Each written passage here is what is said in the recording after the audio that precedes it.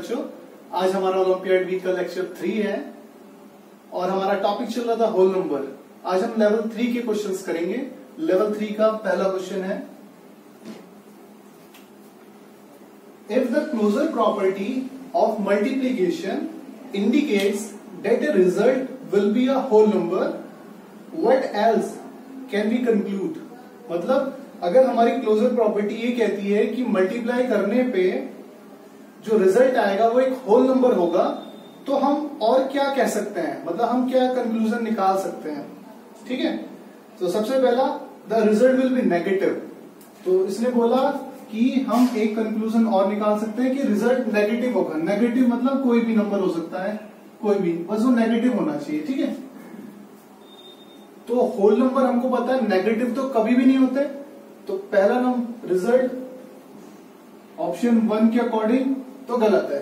ठीक है? इसने बोला नंबरों की मल्टीप्लाई करने पे होल नंबर आएगा। तो इसको हम दूसरी और लैंग्वेज में क्या कह सकते हैं? ठीक है? उसके अलावा होल नंबर के अलावा हम और क्या बोल सकते हैं?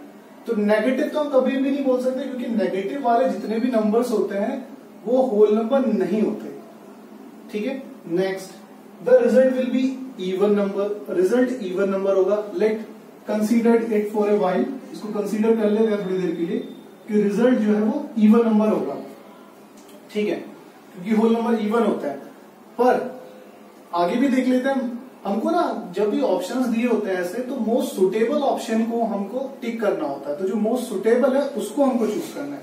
Let's consider the third one the result will be an integer तो इंटीजर तो नेगेटिव भी होते हैं but whole number are not negative then the option C will not be option or not be a conclusion the last one is the result will be zero तो result zero होगा। ठीक है। अभी हमने second वाले को और fourth वाले को कंसीडर किया। सेकंड वाले बोला था कि वो इवन नंबर होगा। अभी एक चीज़ और। इवन नंबर ये भी तो इवन ही है। ठीक है। ये भी तो इवन ही है। पर जो ऑप्शन थर्ड में ज़ीरो बोला है ज़ीरो एक प्रॉपर होल नंबर होता है। जबकि इवन नंबर में वो सारे नंबर आ जाते हैं जो टू से डिवाइड हो जाए। है ना? इवन नंबर वही तो होते हैं जो सारे टू से डिवाइड हो जाते हैं। तो 2.4 भी इवन है क्योंकि ये टू से डिवाइड हो जाता है। But it is not a whole number तो हमसे ही बोला था कि होल नंबर हो और इसको हम दूसरी लैंग्वेज में क्या बोल सकते हैं? इसको हम बोल सकते हैं that the result will be zero क्योंकि ज़ीरो एक होल नंबर है। तो most suitable option is zero तो option D is correct second question में बोला है if we multiply 23 and 1.4 what does the closure property of multiplication tell us ठीक है in regard to the sets of whole number and integers तो हमें multiplication closure multiplication की closure property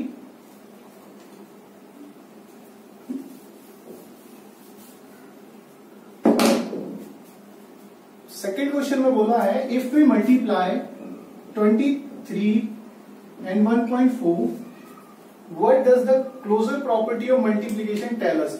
तो multiplication की क्लोजर प्रॉपर्टी क्या बताती है? जैसे क्लोजर प्रॉपर्टी होती है,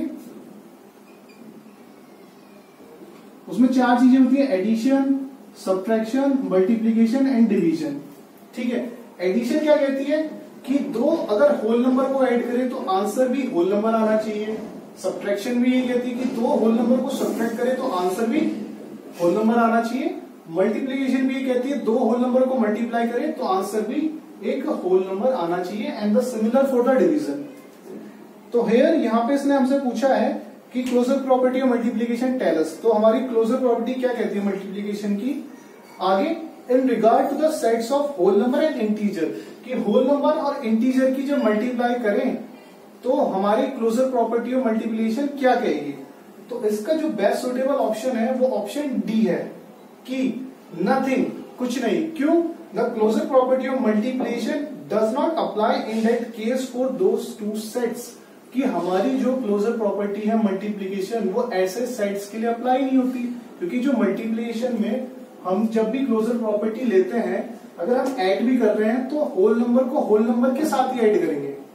ऐसा नहीं है होल नंबर को इंटीजर के साथ ऐड कर देंगे। नहीं। होल नंबर को होल नंबर के साथ ही लेना है सब्ट्रैक्शन में भी होल नंबर लेने हैं दो मल्टीप्लीकेशन मल्टीप्लीकेशन में भी दो whole number and the division में भी दो होल नंबर लेने हैं। तो जो सेट्स होने चाहिए वो सिमिलर होने चाहिए। मतलब जो हमें नंबर लेने हैं, जैसे एड हमने किया तो यहाँ पे जो भी नंबर है, ये दोनों भी होल नंबर होने चाहिए। तभी आंसर होल नंबर आएगा। ऐसा नहीं है कि यहाँ पे तुमने होल नंबर ले लिया और यहाँ पे इंटीजर ले लिया। ठीक है? तो इसलिए तो बेस्ट सुटेबल ऑप्शन है तक nothing the closure property of multiplication does not apply in that case for those two sets ठीक है? नेक्स्ट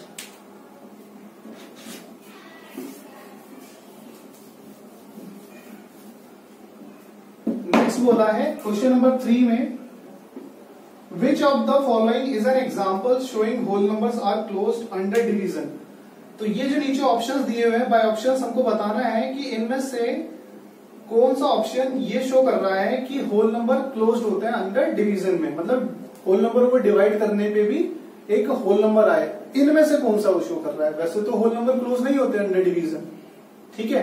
क्योंकि उनको डिवाइड करने पे जैसे हमने दो होल नंबर ले लिए। ठीक है? डिवाइड करने पे आंसर वेरी कर सकता है है ना?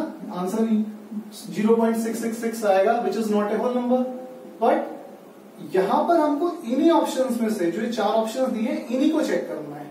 ठीक है? तो ये बताना है इसमें से इन चारों ऑप्शन में से कौन सा ये शो नहीं कर रहा कि होल नंबर्स डिवीज़न के अंदर क्लोज नहीं होते। ठीक है? तो मैंने देखा, पहला ऑप्शन ज़ीरो को डिवाइड किया गया थ्री से तो आंसर ज़ीरो आया। हाँ ज़ीरो तो होल नंबर है। तो ये तो सेटिस्फाई कर रहा है। नेक्स्ट सिक्सटी को फिफ्टीन से डिवाइड फोर से डिवाइड किया गया फिफ्टीन से। तो आंसर क्या आया? फोर आया। वो भी एक होल नंबर है। उसके बाद फोर को डिवाइड किया गया टू से आंसर टू आया। वो भी एक होल नंबर है। लास्ट वन इज़ फोर को डिवाइड किया गया। टू को डिवाइड किया गया। फोर से आंसर आया one point two which is not a whole number और ये इसने पूछा था कि इन ऑप्शंस में से कौन सा होल नंबर को under closure under division closure नहीं दिखाता। ठीक है? तो option D is correct option D ही हमको डिवीज़न के अंदर होल नंबर को क्लोजर या क्लोज नहीं दिखाता। ठीक next question number fourth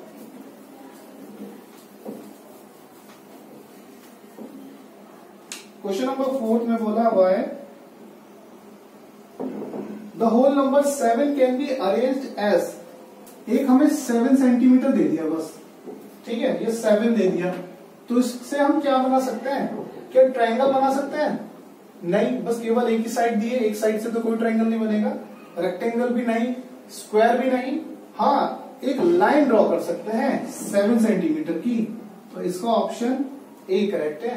कि अगर हमें सेवन दिया हुआ है द होल नंबर सेवन अगर एक नंबर सेवन दिया हुआ है तो इससे हम क्या कर सकते हैं? एक लाइन ड्रॉ कर सकते हैं। ठीक है? तो option A next question number fifth question number fifth में बोला है 320 kilometre distance is to be covered partially by bus and partially by train 320 metre 320 kilometre की डिस्टेंस थोड़ी बस से कवर की जाती है, थोड़ी ट्रेन से कवर की जाती है. बस कवर्ड 180 किलोमीटर है ना? बस जो है, वो 180 किलोमीटर कवर करती है. तो लिख लेते हैं यहाँ पे बाय बस तो बाय बस कितनी डिस्टेंस कवर करी? 180 किलोमीटर ठीक है? Next statement with speed of 40 kilometre per hour और स्पीड कितनी थी? 40 किलोमीटर पर आवर ठीक है? और ऊपर टोटल डिस्टेंस भी क्या दी हुई है? Total distance equals to 320 kilometre उसको भी हमने लिख लिया। तो बस से उसने 180 किलोमीटर डिस्टेंस कवर करी। स्पीड 40 किलोमीटर पर आर थी। टाइम निकाल लेते।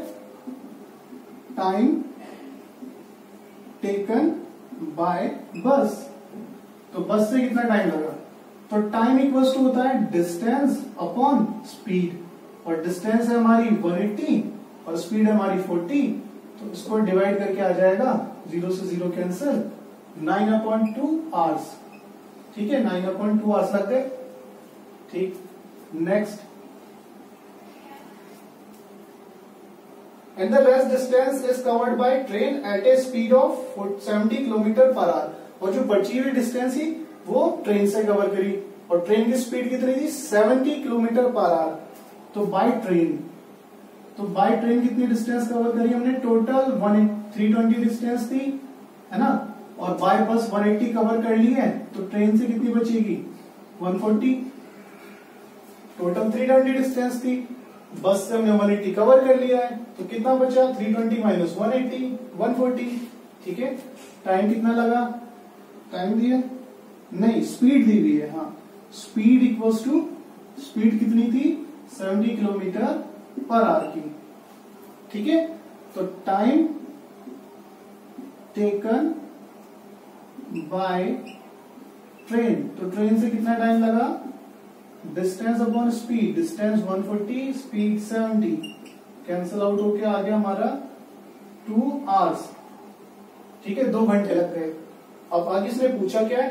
Find the time taken by passenger to cover the whole distance तो पूरी डिस्टेंस पूरी जर्नी को कवर करने में टोटल कितना टाइम लगा? यह हमें बताना है। तो यहाँ लिखेंगे time taken by the passenger to cover the whole distance ठीक है स्टेटमेंट आप लिख लेना। मैं सीधा टोटल टाइम निकाल रहा हूँ। तो बस से कितना टाइम लगा? Nine upon two hours train से कितना टाइम लगा? टू आवर्स इनको एल्सियम लेंगे। टू और वन कैल्सियम टू नाइन और यहाँ पे two into two which means thirteen upon two ठीक है, इसको सॉल्व किया मैंने। तो six whole one upon two hours आ गया। है ना? डिवाइड करेंगे ऐसे। मिक्स फ्रैक्शन में चेंज कर लिया मैंने। टू, सिक्स या ट्वेल्व बचा वन कैरी तो ये वन ऊपर, टू नीचे और सिक्स इधर। तो six upon six whole one upon two hours. तो सिक्स तो होल मतलब सिक्स आवर्स, और ये वन अपॉइंट टू मतलब क्या हो गया? थर्टी मिनट्स, है ना? वन अपॉइंट टू मतलब आधा घंटा, और आधा घंटा मतलब थर्टी मिनट्स तो ऑप्शन कौन सा करेक्ट है? ऑप्शन सी करेक्ट है। सिक्स पूरा, और वन अपॉइंट टू मतलब आधा। तो सिक्स आर थर्टी मिनट तो option C correct next question number six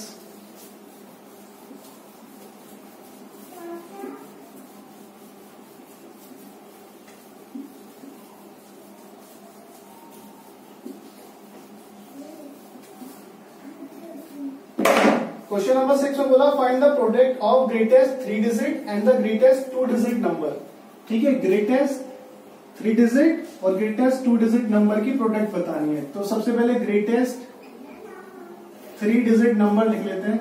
Three digit number equals to three three sorry nine nine nine greatest one digit number single nine greatest two digit number double nine greatest three digit number triple nine और greatest two digit number क्या है? Double nine इनकी हमको क्या बतानी है? Product मतलब multiply तो product equals to triple nine multiply double nine इनकी मल्टीप्लाई कर लेना आंसर आ जाएगा nine eight nine zero one ठीक है?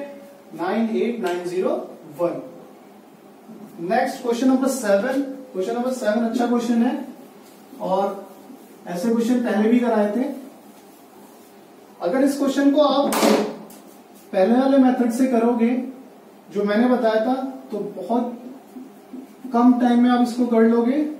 अगर आप इसे नॉर्मली ऐड करने बैठ गए तो आपके काफ़ी टाइम लग सकते हैं, दस से पंद्रह मिनट लग सकता है। ठीक है नॉर्मली ऐड करने में। और अगर इसे आप अकॉर्डिंग टू मेथड ऐड करोगे तो आपका आधा टाइम लगेगा। ठीक है? तो इस टाइप के क्वेश्चंस में मैंने आपको बताया था कि ऐसे नंबरों को साथ में लेना है जिनको ऐड करने पे या उनकी मल्टीप्लाई करने पे मैक्सिमम जीरोस बने। ठीक है? तो हम यहाँ पे लेते हैं, देखो। अगर मैं ये 11 का 1 और 9 को ऐड करूँ तो 10 हो रहा है। तो मतलब यहाँ ज़ीरो बन जाएगा। ऐसी ये 2 और ये 8 को ऐड करूँ तो ये 10 गया ज़ीरो बन जाएगा। ये 3 7 को 10 फोर, सिक्स, टेन, और ये फिफ्टीन रह गया। इसको किसी और के साथ ले लेंगे या में ले लेंगे। ठीक है?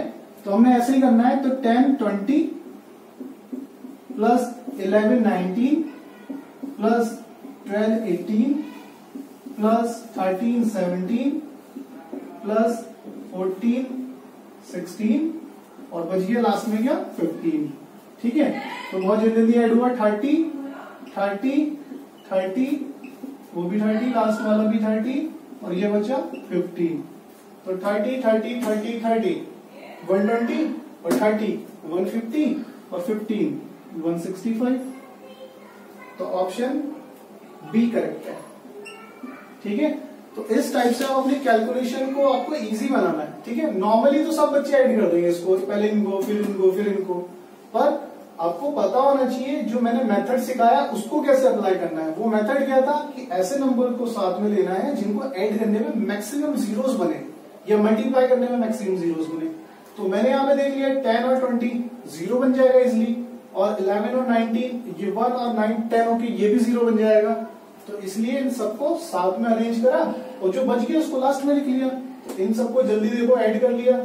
Ten twenty thirty eleven nineteen thirty और ये सब थर्टी हो गए। और फिफ्टीन लास्ट में एड हो गए one sixty five which means option B correct है। Sorry A option A correct है। ठीक? Next question number question number eight में बोला है on dividing fifty five thousand three hundred ninety by two hundred ninety nine the remainder ठीक है? Fifty five thousand three hundred को ninety को two hundred ninety nine से divide करने seventy five remainder बचता है तो क्वेश्चन क्या होगा? तो हमारे पास फॉर्मूला था dividend equals to divisor multiply question plus remainder ठीक है? डिवाइडेंट क्या होता है? डिवाइडेंट जिसको हम डिवाइड कर रहे होते हैं। तो डिवाइड किसको कर रहा है? इसको। डिवाइजर क्या होता है? जिससे डिवाइड कर रहे होते हैं। तो 299 से डिवाइड कर रहे हैं। क्वेश्चन जितनी बारी में डिवाइड कर रहे होते हैं। और रिमाइंडर जो हमारा बचता है। ठीक है? तो क्वेश्चन हमको निकालना है। तो जिसको निकालना है उसकी और इसकी क्या हो रही है? मल्टीप्लाई तो ये तो बाद में यूज़ होगा। पहले जो प्लस माइनस में है उसको इस साइड लेके जाएँगे ठीक है? तो 55,390 माइनस सेवेंटी फाइव इधर प्लस था इधर आके माइनस हो जाएगा। इधर बचा 299 हंड्रेड नाइन इंटू क्वेश्चन इन दोनों को मैंने माइनस किया fifty five hundred thousand three hundred fifteen और equals to two ninety nine into question question निकालना है। तो जो मल्टीप्लाई में होता है उसके साथ, वो चला जाता है डिवाइड में। तो यहाँ आ गया 299 इधर बचा क्वेश्चन दोनों को डिवाइड तो इन दोनों को डिवाइड करके जो आंसर आएगा, वो आएगा हमारा 185 ठीक है तो क्वेश्चन आ गया हमारा 185 तो ऑप्शन ए करेक्ट है। ठीक? नेक्स्ट है।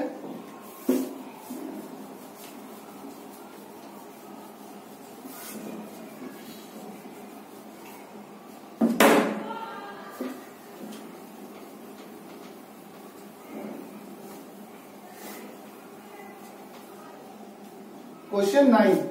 क्वेश्चन नाइन में बोला है 255 मल्टीप्लाई 365 प्लस का 255 मल्टीप्लाई 35 और डिवाइडेड बाय पूरा 400 से और लास्ट में प्लस 60 ठीक है, ये हमारा क्वेश्चन है।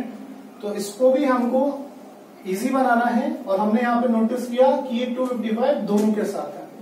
तो ये 255 डिस्ट्रीब्यूट हो रहा है, इसके साथ भी, इसके साथ भी तो ये आ गया हमारा कॉमन जैसे कॉमन आया मल्टीप्लाई का साइन ला गया ब्रैकेट और इधर से बचा 365 और उधर से आ गया प्लस का 35 ठीक है? और बड़ा बड़ा ब्रैकेट और यहाँ पे ये 400 से क्या हो रहा है? डिवाइड प्लस 60 हमने पहले ब्रैकेट के अंदर देखा 255 यहाँ भी था, यहाँ भी था कॉमन लिया, इधर से बचा 365 उधर से बचा 35 दोनों को प्लस कर देंगे। तो ये हो गया आपका 400 और पूरा डिवाइड हो रहा है किससे? 400 से और प्लस 60 ठीक है? यहाँ से ये डिवाइड हो गया। अच्छा ये तभी ऐसे करते हैं जब बीच में मल्टीप्लाई का साइन हो। अगर बीच में प्लस माइनस और दूसरा साइन है तो ये डिवाइड नहीं हो सकता ऐसे। ठीक है? ये तभी कटेगा जब बीच में कौन सा साइन हो? मल्टीप्लाई का। तो हमारे यहाँ से बचा फॉर 255 और उधर से रह गया 60 दोनों को ऐड कर देंगे तो 315 answer which means option D correct ठीक है? लास्ट है question number ten question number ten simple सा है what is the additive identity identity of element 24 तो 24 की एडिटिव आइडेंटिटी क्या होगी? एडिटिव आइडेंटिटी क्या होती है? कि वो नंबर जो जैसे मेरे से पूछा गया 16 या 24 की एडिटिव आइडेंटिटी क्या होगी? कि इसमें मैं क्या ऐड करूँ? कि जो आंसर आए वो भी 24 हो वो इसकी एडिटिव आइडेंटिटी होगी। ठीक है? तो 24 में मैंने क्या ऐड करना है कि आंसर भी 24 आए तो ज़ीरो तो 24 प्लस ज़ीरो इक्वल्स टू 24 तो additive identity of 24 is B option zero ठीक है? एडिटिव आइडेंटिटी वो नंबर जो किसी भी नंबर पे ऐड करने पे वही नंबर आ जाए। मतलब जैसे 16 में मैं क्या ऐड करूँगी 16 आए तो 16 में ज़ीरो ऐड करेंगे, तभी 16 आएगा। तो additive identity of 16 is zero तो यहाँ पे लेवल थ्री के सारे क्वेश्चंस खत्म हो जाते हैं। जिस भी बच्चे ने लेवल वन या लेवल टू का लेक्चर मिस कर दिया है वीडियो के डिस्क्रिप्शन में उसके लिंक है, वहाँ से आप उसको स्टडी कर सकते हैं। Thank you